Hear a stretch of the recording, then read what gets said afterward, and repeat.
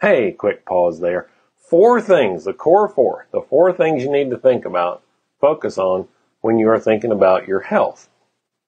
All right. Number one is rest. Okay? Like I said, this is going to be hard work. You need to rest. A lot of things happen while you sleep. A lot of things happen in your brain with the chemistry up there. A lot of things happen with your body, the, the muscles, the cells that get, uh, taxed, stressed during the day, they get rejuvenated. Short-term memory gets converted to long-term memory. You also can activate that reticular uh, thinking system in your brain, your reticular system in your brain, to help come up with answers to questions that your conscious brain struggles with. So rest. And when I mean rest, I mean eight hours.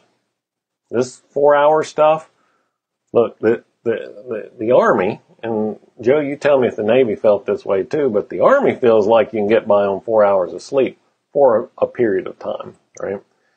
Um, and I've gone, look, I've tried this every way from Sunday. I've gone with four hours of sleep a night. I've gone with working overnight and sleeping during the day. I've gone with sleep two hours, work two hours, sleep two hours, work two. Tried them all. And without a doubt, without question, the one that works best for me, and I think it'll work best for you, I'll tell you why in just a minute, is eight hours of sleep at night. Because we got this thing called our circadian rhythm, and we need to not fight against that. That's why you get sleepy at night and you're more alert during the days, because that's the rhythm of your body. Figure out what that rhythm is, and then use it to your advantage. So, element number one of the core four is rest. Element number two is exactly the opposite. Exercise. Gotta have exercise. Yeah, Joe says the four hours can be done, but it'll have a long-term negative effect. I believe it. I believe it. All right, exercise. We exercise this thing all the time, but the rest of this thing carries this thing around, right? Our head gets plenty of exercise, but we need our body to get our head where we need it to be. All right. So you need, you need that exercise in order to keep it in shape. A lot, I mean, I'm not even going to hammer this one, right? For one reason, because I'm not that great at it. I know it.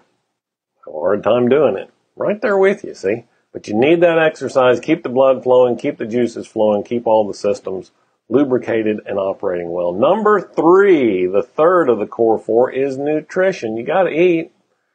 Now, you have to eat and you have to eat wisely.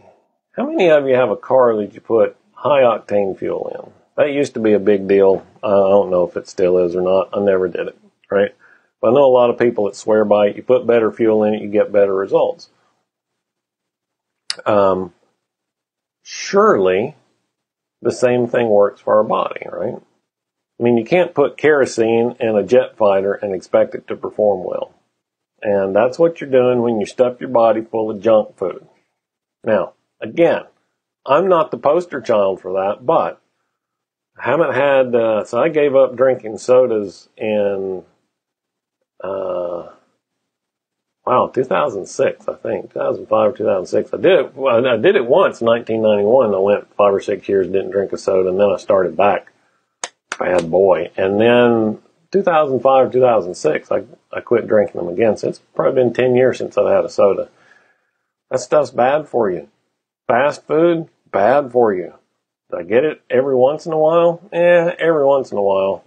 But just plan, right? This goes back to what we were talking about yesterday. You've got to plan your time, right? Where focus goes, energy flows, you, your, um, what you pay attention to, right, is going to betray your true priorities, right? So if you want to be healthy, then you will spend the time to exercise and eat right. That simple. All right, and then number four, the fourth of the core four to maintain your health is hydration. This stuff right here um, causes you to lose fluids. so drink plenty of water. I you already took it back to the kitchen. My 22 ounce glass of water, first thing I do, I hit the kitchen, fill that up, drink that. Your body is dehydrated when you get up in the morning. When your body's dehydrated, the brain doesn't work right. So drink some water. If you, if you want to take a pro tip on this, squeeze a little bit of lemon in there. That lemon juice in water uh, turns alkaline. Your body alkal- uh, turns it to alkaline uh, after you drink it, and that just kind of helps things flow better, flow well. All right. So those are the core four. Get plenty of rest, get plenty of exercise, eat right, and hydrate. If you do those four things, and look, all things in moderation, right? If you do those four things, you think about those four things, then I promise you, you're going to feel a lot better. All right.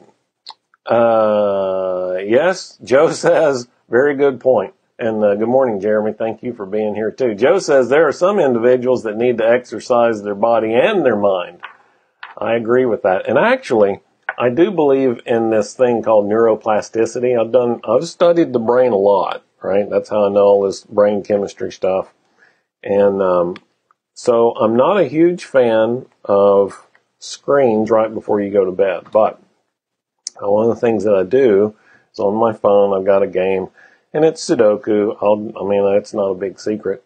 And I play a couple of hands of that every night before I go to bed. Why do I do that? Two reasons. One is, um, for, uh, I forgot the term for it, but it overwrites whatever I'm focusing on right before I go to bed. Kind of helps me sleep, right? So it gives me something to focus on.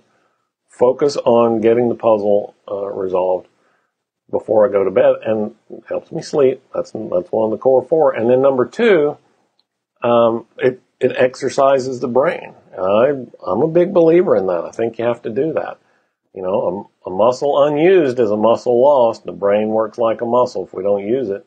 And here's the evidence for it. Have you ever seen? If you haven't, uh, I'll, I'll see if I can find the link to it uh, and share it with you guys. But there's a great episode Actually, I think that's it's Ancient Aliens, so don't hate me for watching Ancient Aliens. But there's an episode where they're talking about Einstein's brain. Uh, that's really what I wanted to get to.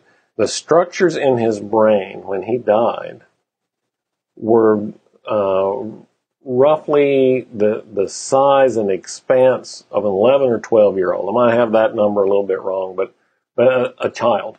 So as a child, when we're growing up, our brain is open to all kinds of input and stimulus and learning. And as we age, we believe we have learned everything. So we quit learning.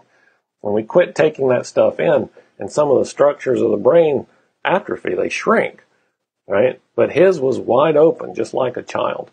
So I think that, I mean, just that's existence proof to me that if you exercise the brain, then you can keep it open to new experiences, to new learning, and to growth. And that is one of the keys to success. All right. That's it for this morning. I hope that has uh, challenged you. If uh, if health is something that you know, we all know we need to do it. We all know we need to do it, myself included. We just don't, right? But it is one of the seven keys to a happy, healthy, balanced life. is to at least pay attention to those four things: your rest, your exercise, your nutrition, and your hydration. If you remember nothing else, remember those four things. Pay attention to those four.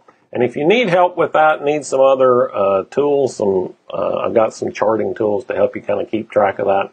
Just send me a message. Let me know. I'll be happy to send that stuff to you and uh, and help you build out a plan. Right? And we talked. Uh, remember last week we talked about process. All of this is part of the process, right? And process, we we pursue process to create predictability. Right? So if you take care of your health, then I can have some predictable outcomes. All right, that's it for today. Remember the radio show is coming up at the top of the hour 47 minutes from now. Be sure to tune in for that at talkradioforentrepreneurs.com. I'll be back here again in the morning with another installment of 7 Minutes in the Morning. You guys have a terrific Tuesday. I will talk to you then.